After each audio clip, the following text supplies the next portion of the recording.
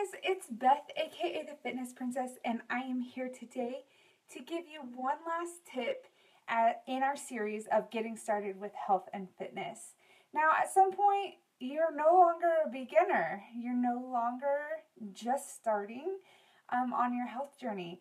You just are in it, and it's a journey. It has ups and downs, as every journey does.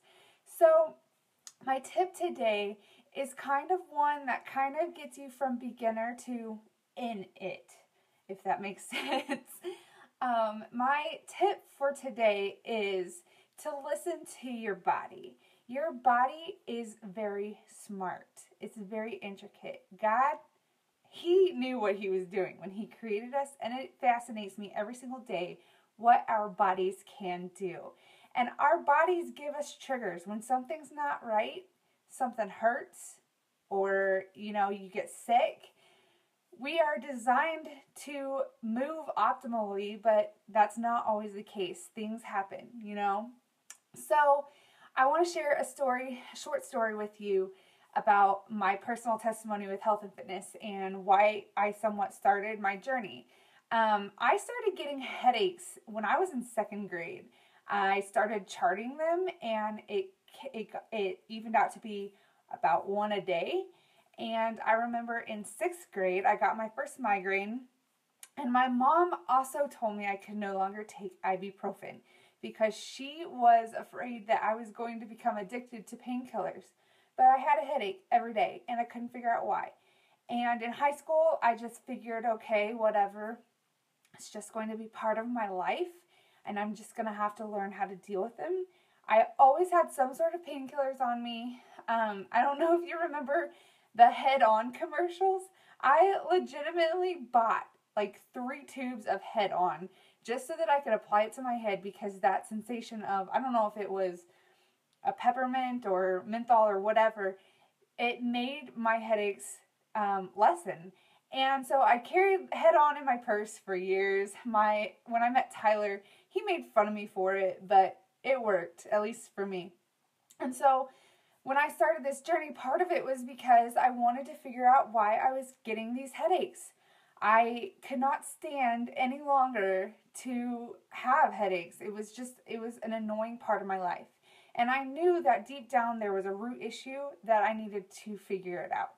So that's when I started doing all the research I did. And um, now I can tell you with this, the um, switcheroo of my diet, eating a lot cleaner, less processed foods, less boxed and packaged things, that I don't have a headache every day anymore. I have figured out that my migraines are hormonal, so that's unfortunate, but I'm working on getting my hormones balanced. But my daily headaches are no longer there. And so when we listen to our body, when something is hurting, it's telling us we need to do something different. Maybe you have stomach aches every day. Maybe you feel bloated or you have troubles with gas or you know, whatever. Those are digestive issues. Maybe you have a food intolerance. Start digging a little deeper. Sometimes it's simply taking something out of our diet. Other times there's a, a, bigger issue and we do have to go see a doctor for that. But food is medicine and food has healing properties when we eat to nourish our bodies we can sometimes fix those problems. So start to listen to your body. If your body is telling you something, if it's yelling at you, do something different.